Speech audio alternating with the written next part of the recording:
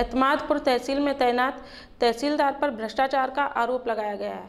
High court के आदेश के चलते एसडीएम द्वारा गठित जाँच समिति के द्वारा तहसीलदार प्रेमपाल को गाँव नगलाबरी की राशन डीलर के यहाँ राशन की जाँच करने के लिए भेजा गया था।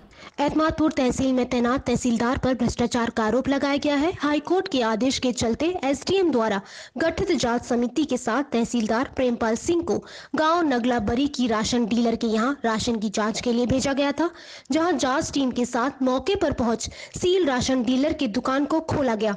जहाँ राशन के माल की काउंटिंग की गई, जाँच में माल पूरा पाया गया। लेकिन राशन डीलर और ग्राम प्रधान का आरोप है कि उन्हें जाँच करने आई टीम ने कोई रिसीविंग नहीं दी है और राशन डीलर से जाँच रिपोर्ट लगाने को लेकर एक लाख रुपए की मांग की है। राशन डीलर ने सीधा आरोप लगाया है कि तहसीलदार अपनी मनमानी करने में लगे हैं। सही रिपोर्ट लगाने के बजाय उनके खिलाफ रिपोर्ट लगाने के लिए धमकाते हुए एक लाख रुपए की मांग की गई। जब उसने इस बात की, यानी रिश्वत देने से इनकार कर दिया तो उसके खिलाफ रिपोर्ट लगाते हुए कोटा निरस्तीकरण की कार्यवाही की संस्कृति की गई। जिसमें उसके घर की राशन की दुकान है की छत को टूटा हुआ दर्शाया गया है, जबकि मौके पर दुकान के कमरे से किसी प्रकार की कोई छेड़छाड़ या नया निर्माण या तोड़फोड़ नहीं की गई है।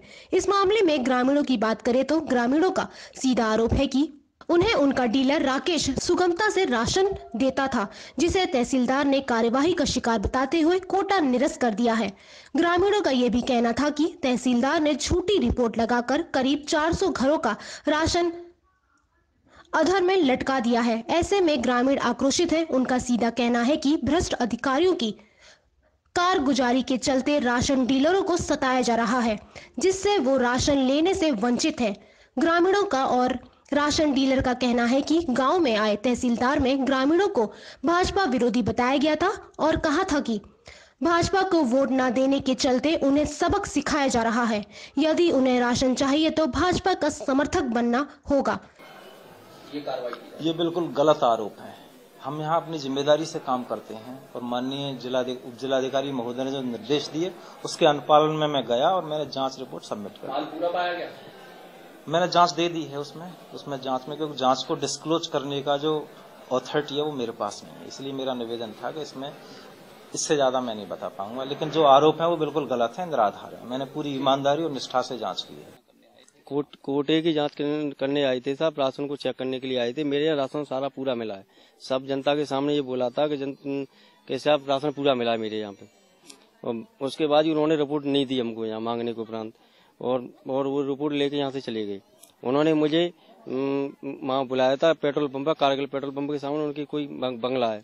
वहाँ पर मुझे बुलाया था, उन्होंने, वहाँ मेरी बात हुई थी उन्होंने से। उन्होंने कहा था, एक लाख से ऊपर पैसा लगेगा और अटल बिहारी के क्या बोल रहे थे, उसके लिए प्रोग्राम है, इसलिए पैसा चाहिए रहा है। कि पटिया तोड़ करके मतलब ये गलत है बिल्कुल। मेरे सामने सील खुली है और मैं यहाँ मौजूद था। तहसीलदार साहब ने भी देखा, जिनका नाम प्रेम सिंह प्रेमपाल सिंह है। इस समय तहसीलदार साहब का नाम प्रेमपाल सिंह है। वो इस समय मौजूद थे यहाँ पे जब सील खोली गई तो। ऐसा कुछ भी नहीं था। राशन यहाँ पूरा था और ऊपर छत से लेकर के नीचे तक पूरा ग्राउंड देखा उन्होंने और मैं लाइट के देखा है। लेकिन ऐसा कुछ नहीं पाया गया और जो हमारे डीलर साहब हैं राकेश बाबू, उनके पिताजी ने पूरी छत को धुलवा करके दिखवाया है रात में लेकिन ऐसी कोई सांस नहीं मिली है जहाँ की पानी मतलब पत्थर तोड़ने की कोई भी साजिश नहीं है उसमें। छह महीना से ना मिल रहा बिल्कुल और जो डीजल को हमारे को बहुत गैया आदमी हो जहाँ गैर बात है आक्षेप लग रहा है। इससे पहले मिल रहा डीजल हमें दे रहा हमारा डीजल दे रहा। हमें तो गैर कार्ड मिलता है ना। अब दे, अब दे ही ना भजा देता मैं लड़का हम देता है।